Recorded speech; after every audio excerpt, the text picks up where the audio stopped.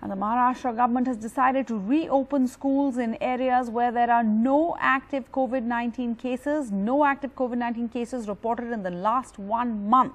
Schools in these areas have been allowed to resume offline classes for students of classes 8 to class 12 and this will be from the 15th of July.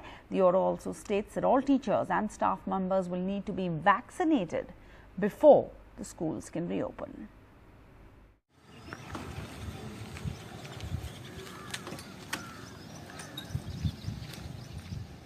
At Manjarsumba village near Ahmednagar in Maharashtra, the school is being sanitized.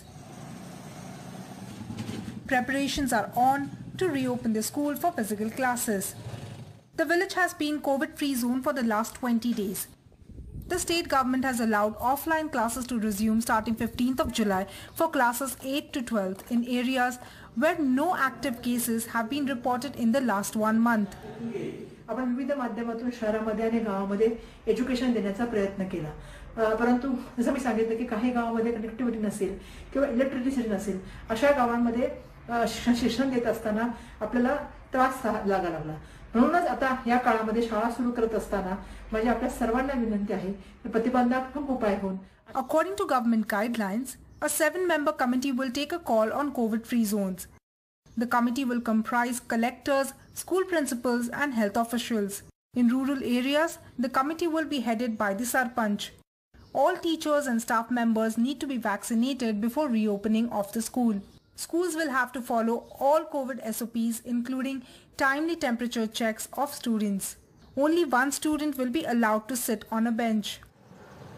At Manzar Sumba village, the Sarpanch says they are ready. बच्चे हैं उनका बहुत नुकसान हुआ है वो online से अच्छे से पढ़ाई नहीं कर रहे इसकी वजह से हम पंद्रह तारीख से स्कूल चालू कर रहे हैं जब बच्चा अंदर आता है गेट से तो उसको मास्क लगा के अंदर आने का उसको वहाँ पे बिठाना है वहाँ पे भी उसको अकेले को ही बिठाना है उन्हें किसी को हाथ लगाना नहीं जाते समय भी दुकान में किसी को कौन सा चीज़ लेना नहीं ये सब ट्रेनिंग बच्चों को भी और पालक को हमने बताया School administration and parents think this is an important step to help children who have been left behind in their education due to the digital divide.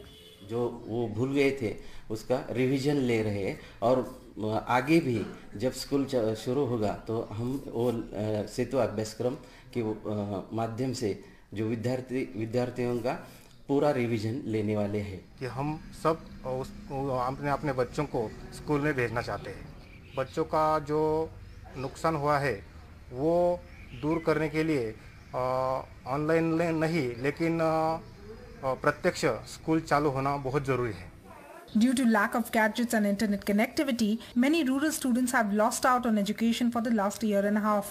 The students of classes 8 to 12 would be back in school in COVID-free zones, but the challenge would be to ensure their safety and adherence to COVID-appropriate behavior. With Sagar Dosal in Ahmednagar, Purva Chitnis for NDTV.